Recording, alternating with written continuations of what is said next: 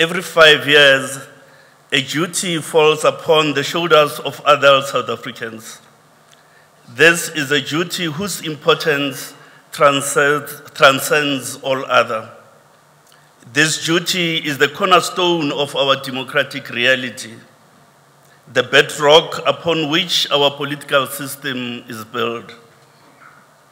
It is a duty of electing public representatives to the National Assembly and provincial legislatures. These representative bodies will cumulatively guide the course of our national destiny. These legislative bodies hold, therefore, an immense national responsibility to fashion a policy, a policy trajectory that fosters national development.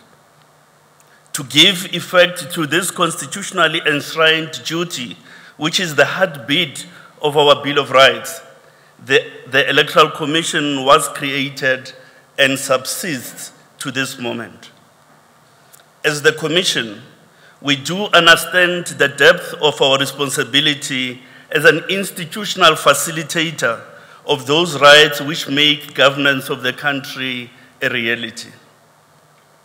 Alive to the enormity of our national responsibility, we stand here today infused with an indomitable spirit and unshakable uh, determination, ready to embark on the journey of delivering the general elections of national and provincial legislatures next year. We simply refer to these elections as NPE 2024. We are ready to embark on this constitutional journey because of the imminent conclusion of the terms of our current legislatures. The Sixth National Assembly and the nine provincial legislatures' terms of office conclude in the middle of May 2024.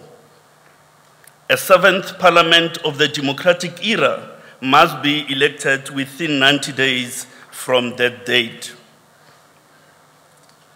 Hence, the window period for our national election stretches from May to the middle of August in 2024.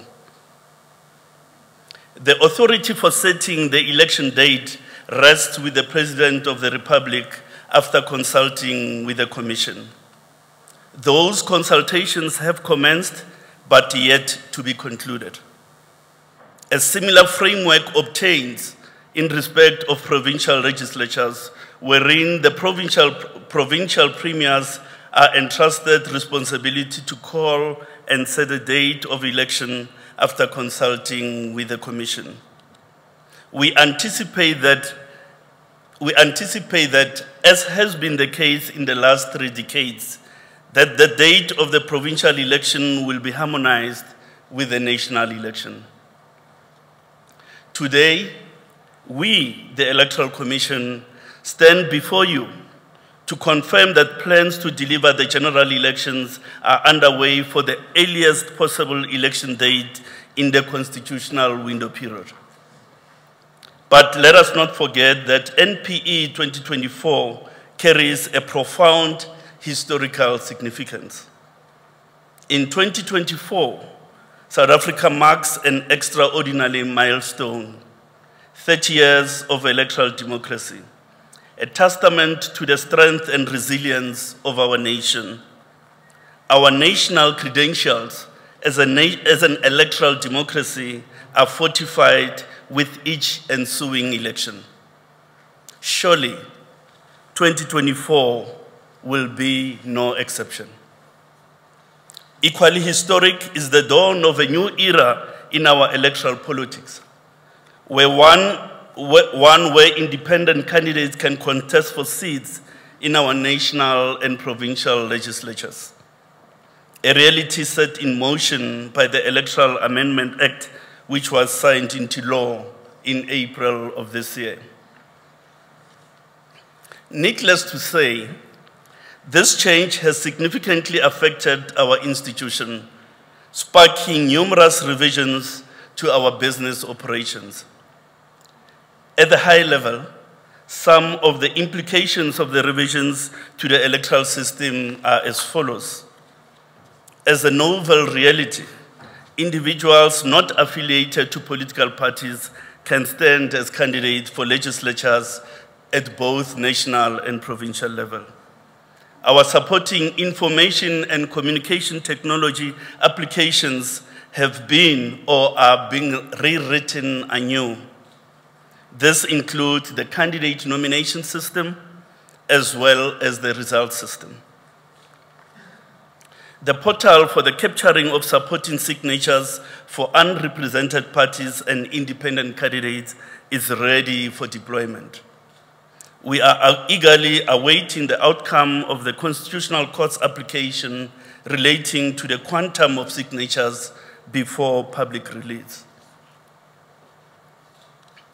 The Commission has set in motion a comprehensive roadmap or a critical path that, underpins our preparations for 2024 elections. We address salient aspects of, the, of that plan here under.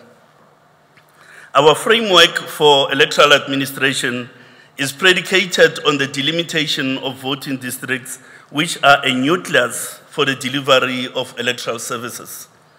Necessarily, leading to a general election, voting districts had to be re reviewed concomitantly with voting stations. Voting stations must be chosen to facilitate easy access to the communities they serve. Consequent to this review, and with the consultation of municipal party liaison committees, 23,269 voting stations have been determined for NPE 2024.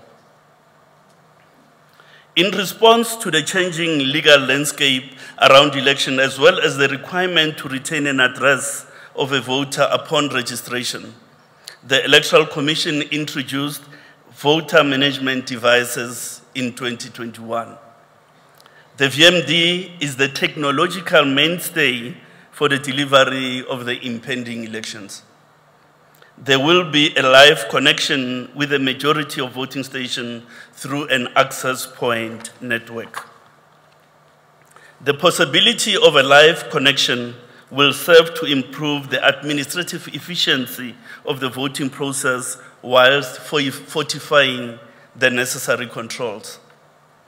Just under 40,000 VMDs are on hand for use in the forthcoming registration and election events.